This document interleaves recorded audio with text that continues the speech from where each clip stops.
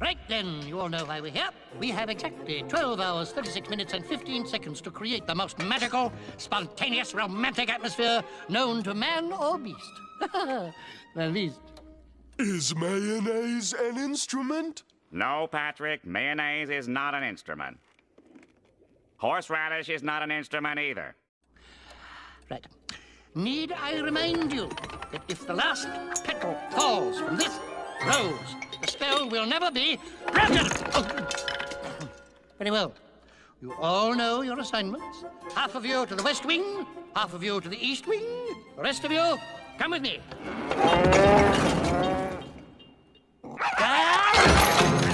Oh, lighten up, Cogsworth, and let nature take its course. It's obvious there's a spark between them. Yes, but there's no harm in fanning the flames, you know, a little.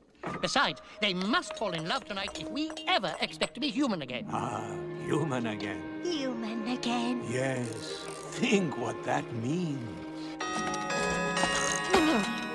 I'll be cooking again, be good looking again, with a mademoiselle on each arm. When I'm human again, only human again, poised and polished and gleaming with charm. I'll be courting again, chic and sporting again. Which should call several husbands alarm. Ah, I'll hop down off this shelf and to sweet be myself. I, can't wait to be human again. When we're human again, only human again, their knickknacks and whatnots no more. When we're human again, good and human again. Oh, Sherry, won't it all be uproar? I'll wear lipstick and rouge, and I won't be so huge. Why, I'll easily fit through that door. I'll exude savoir-faire. I'll wear gowns, I'll have hair. It's my prayer to be human again.